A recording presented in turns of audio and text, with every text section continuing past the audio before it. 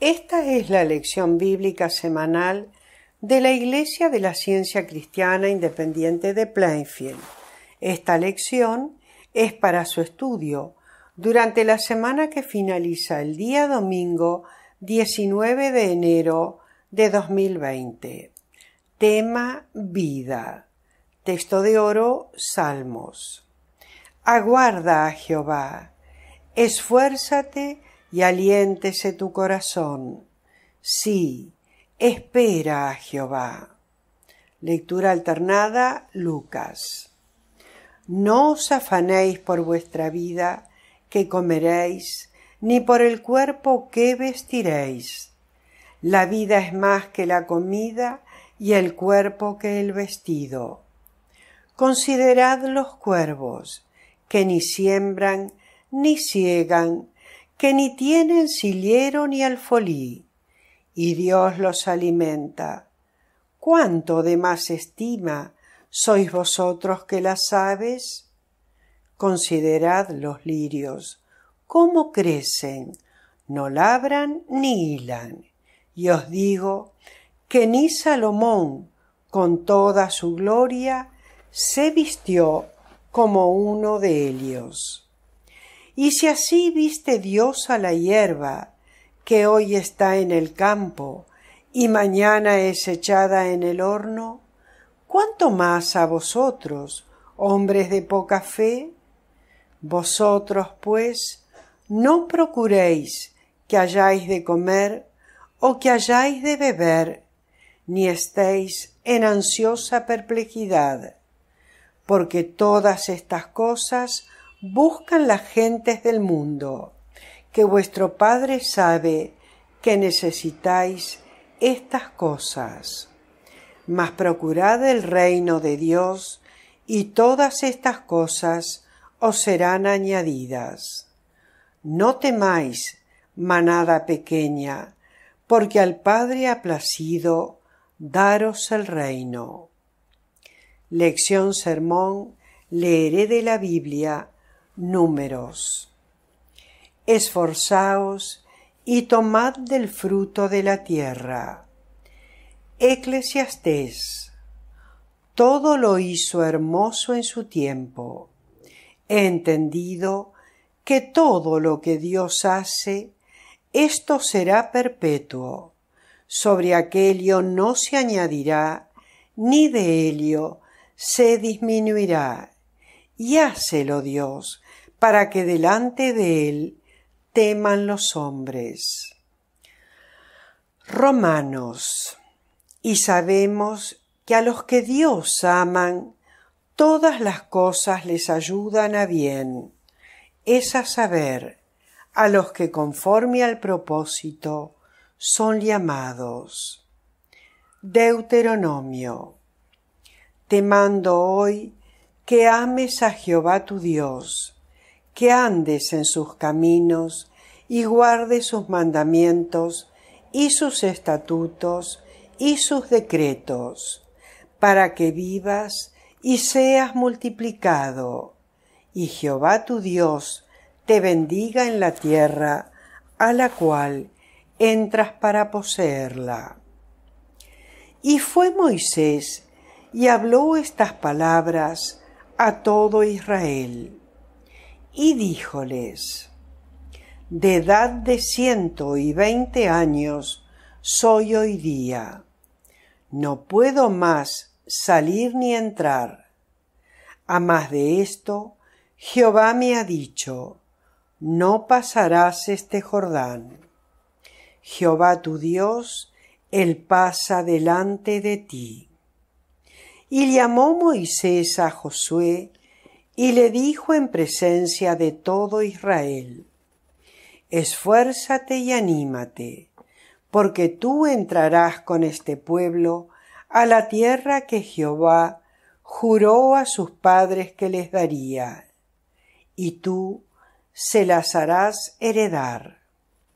Y Jehová va delante de ti, Él estará contigo, no te dejará ni te desamparará, no temas ni te intimides. Y Moisés escribió este cántico aquel día y lo enseñó a los hijos de Israel. Y dio orden a Josué, hijo de Nun, y dijo, Esfuérzate y anímate, pues tú introducirás a los hijos de Israel en la tierra que les juré, y yo estaré contigo. Josué. Y aconteció después de la muerte de Moisés, siervo de Jehová, que Jehová habló a Josué, hijo de Nun, ministro de Moisés, diciendo, Mi siervo Moisés ha muerto. Ahora, pues, levántate y pasa este Jordán, tú y todo este pueblo, a la tierra que yo les doy a los hijos de Israel. Yo os he entregado, como lo había dicho a Moisés, todo lugar que pisare la planta de vuestro pie, desde el desierto y el Líbano hasta el gran río Éufrates, toda la tierra de los Eteos hasta el gran mar, donde se pone el sol, será vuestro territorio. Nadie te podrá hacer frente en todos los días de tu vida. Como estuve con Moisés, estaré contigo. No te dejaré ni te desampararé. Esfuérzate y sé valiente, porque tú repartirás a este pueblo por heredad la tierra de la cual juré a sus padres que la daría a ellos. Solamente esfuérzate y sé muy valiente para cuidar de hacer conforme a toda la ley que mi siervo Moisés te mandó. No te apartes de ella ni a diestra ni a siniestra, para que seas prosperado en todas las cosas que emprendas. Nunca se apartará de tu boca este libro de la ley, sino que de día y de noche meditarás en él, para que guardes y hagas conforme a todo lo que en él está escrito, porque entonces harás prosperar tu camino y todo te saldrá bien. Mira que te mando, que te esfuerces y seas valiente. No temas ni desmayes, porque Jehová tu Dios estará contigo en donde quiera que vayas. Isaías, ¿no has sabido, no has oído que el Dios eterno es Jehová, el cual creó los confines de la tierra?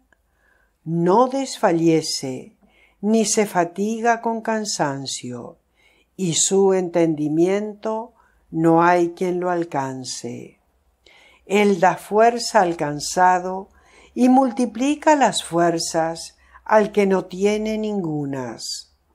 Los muchachos se fatigan y se cansan, los jóvenes flaquean y caen, pero los que esperan en Jehová tendrán fuerzas nuevas, levantarán alas como las águilas, correrán y no se cansarán, caminarán y no se fatigarán.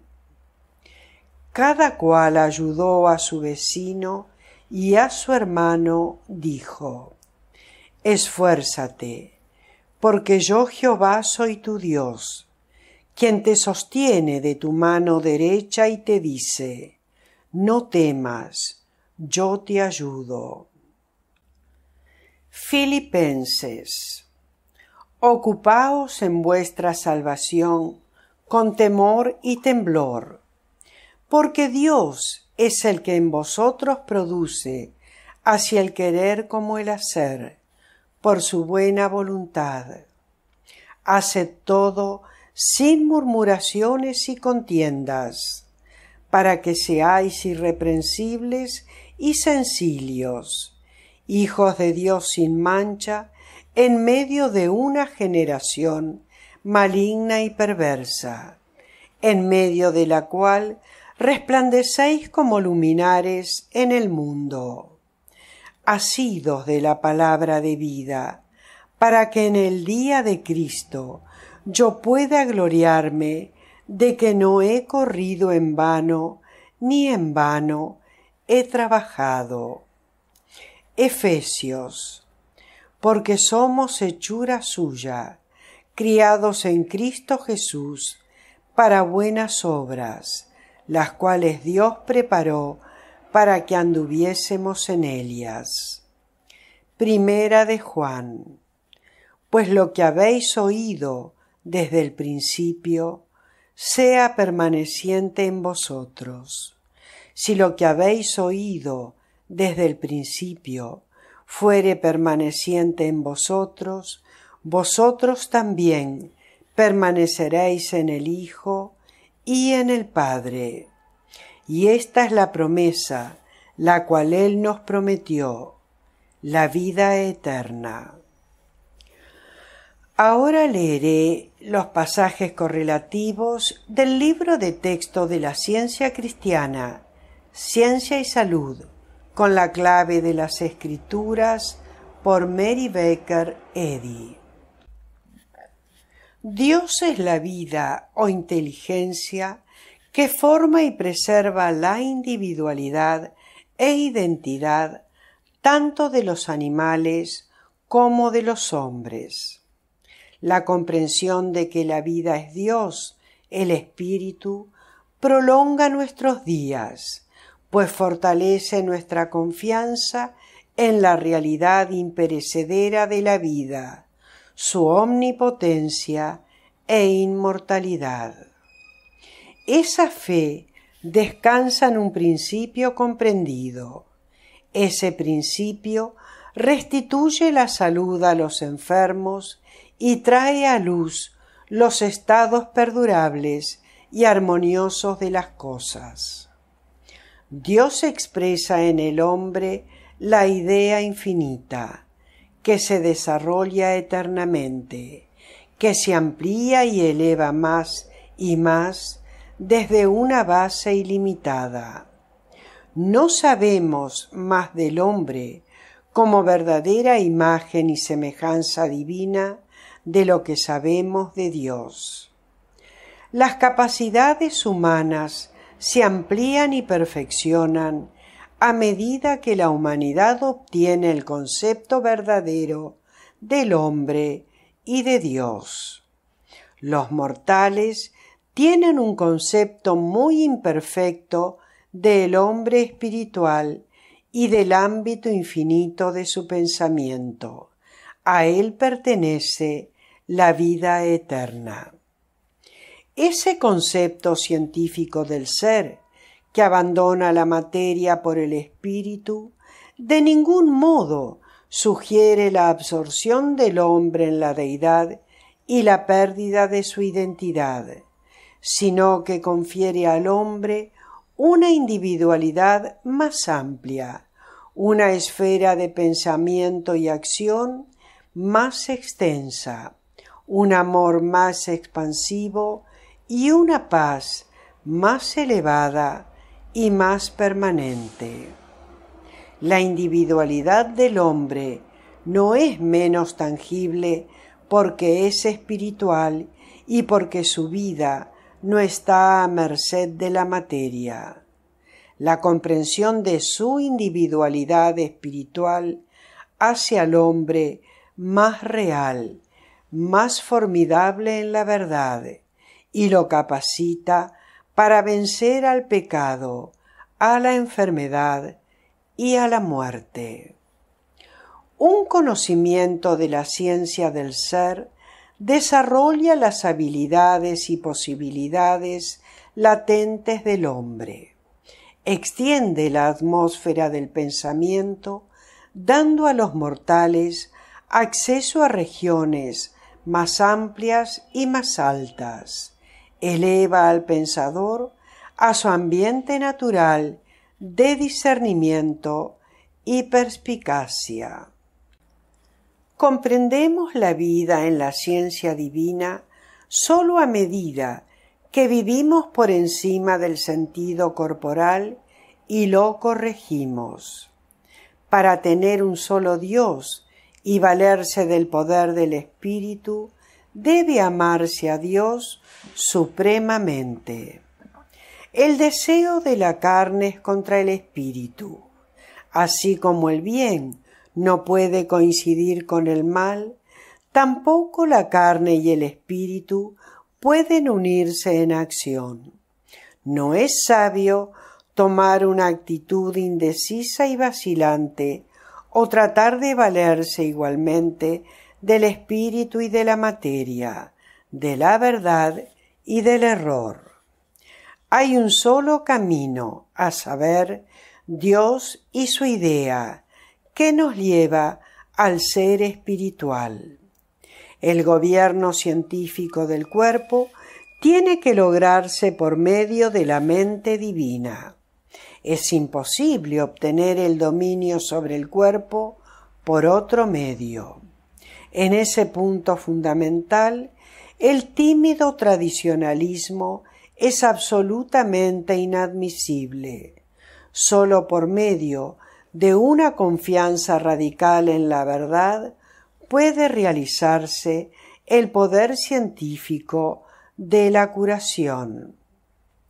Tiene uno que cumplir su misión sin timidez ni disimulo, pues si la obra ha de quedar bien hecha, ha de hacerse desinteresadamente.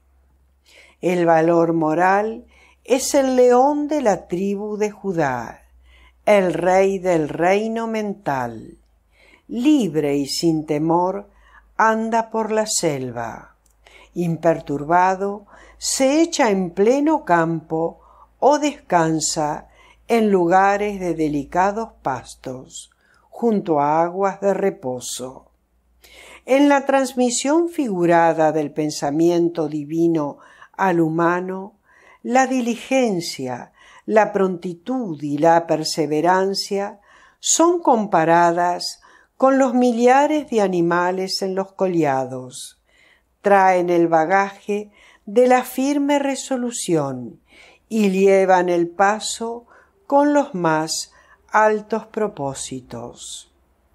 Hay demasiado valor animal en el mundo y no suficiente valor moral. Los cristianos tienen que tomar las armas contra el error en casa y fuera de Elia.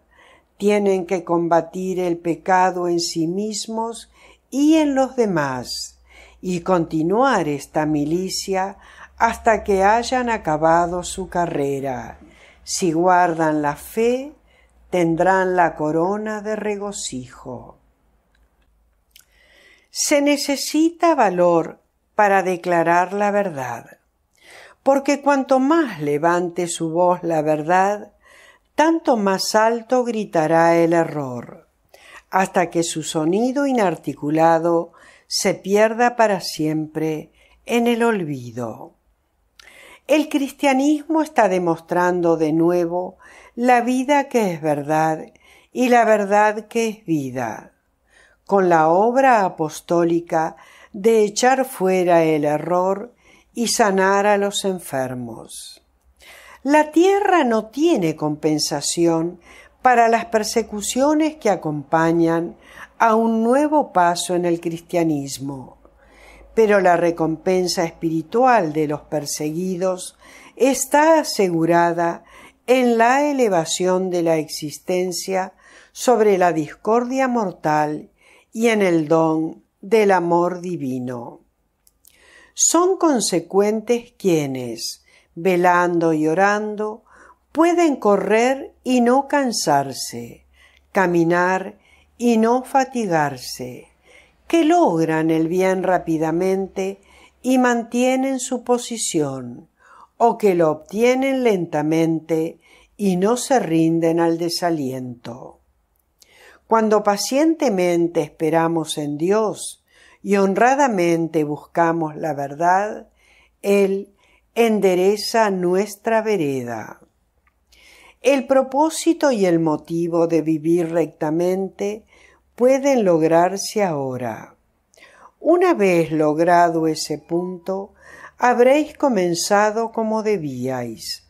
Habéis comenzado por la tabla de sumar de la ciencia cristiana, y nada, salvo una mala intención, puede impedir vuestro progreso. Si trabajáis y oráis con móviles sinceros, vuestro Padre os abrirá el camino. ¿Quién os estorbó para no obedecer a la verdad? Tenemos que dar vuelta a nuestros débiles aleteos, nuestros esfuerzos por encontrar vida y verdad en la materia, y elevarnos por encima del testimonio de los sentidos materiales, por encima de lo mortal, hacia la idea inmortal de Dios. Esas vistas más claras y elevadas inspiran al hombre de cualidades divinas a alcanzar el centro y la circunferencia absolutos de su ser. Job dijo, de oídas te había oído, mas ahora mis ojos te ven. Los mortales harán eco al pensamiento de Job cuando los supuestos dolores y placeres de la materia cesen de predominar.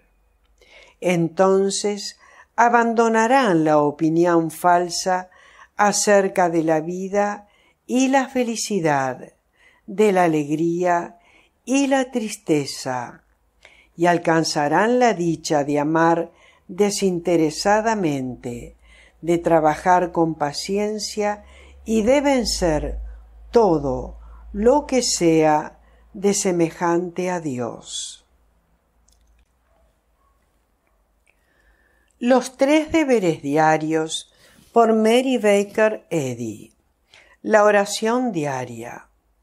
Será deber de cada miembro de la Iglesia orar diariamente. Venga a tu reino. Haz que el reino de la verdad, la vida y el amor divinos se establezcan en mí, y quita de mí todo pecado, y que tu palabra fecunde los afectos de toda la humanidad y la gobierne. Una regla para móviles y actos. Ni la animadversión ni el mero afecto personal deben impulsar los móviles o actos de los miembros de la Iglesia Madre. En la ciencia, sólo el amor divino gobierna al hombre, y el científico cristiano refleja la dulce amenidad del amor al reprender el pecado, al expresar verdadera confraternidad, caridad y perdón. Los miembros de esta Iglesia deben velar y orar diariamente para ser liberados de todo mal, de profetizar, juzgar, condenar, aconsejar, influir o ser influidos erróneamente. Alerta al deber. Será deber de todo miembro de esta Iglesia defenderse a diario de toda sugestión mental agresiva y no dejarse inducir a olvido o negligencia en cuanto a su deber para con Dios, para con su guía y para con la humanidad. Por sus obras será juzgado y justificado o condenado prestar atención. De miscelánea de Mary Becker Eddy, página 237. Para los científicos cristianos, Ver Ciencia y Salud, página 442, renglón 30, y prestarle atención diaria a Helio. Científicos cristianos, sed una ley para con vosotros mismos que la mala práctica mental no puede dañaros ni dormidos ni despiertos.